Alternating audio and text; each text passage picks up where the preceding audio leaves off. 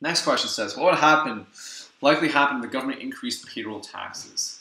Um, again, this goes back to one of the previous two questions that we talked about uh, when we said that uh, what would be the impact of a uh, in, in the uh, introduction of income tax. So if we were to increase payroll taxes, the same thing that happens on this graph would occur.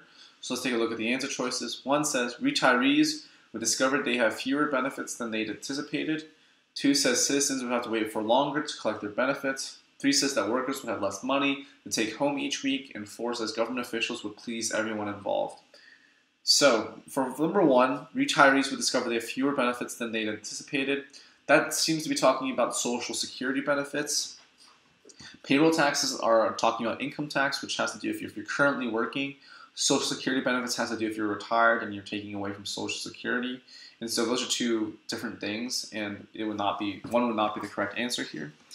Two says that citizens would have to wait far longer to collect their benefits. Again, this is something that seems to have to do with Social Security benefits, not payroll taxes, so we're not going to do anything with that.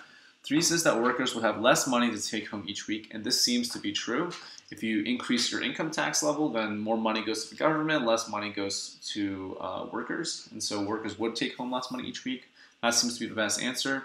Four says government officials would please everyone involved. Uh, I think most people would be unhappy if the payroll taxes were to increase. And so three is going to be the best answer here. Uh, what would most likely happen if the government increased payroll taxes? Workers would have less money to take home each week. Let's take a look at the previous tutor's answer. They also said three. They said that payroll taxes are taxes imposed as a percentage of salaries that workers receive.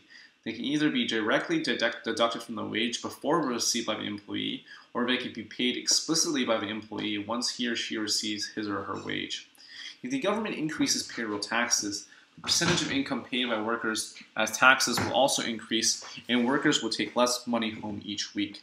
At the same time, the increase in taxes will reduce the incentive to work. Both of those are true. Um, this is a good explanation, and nothing much that we really want to add here.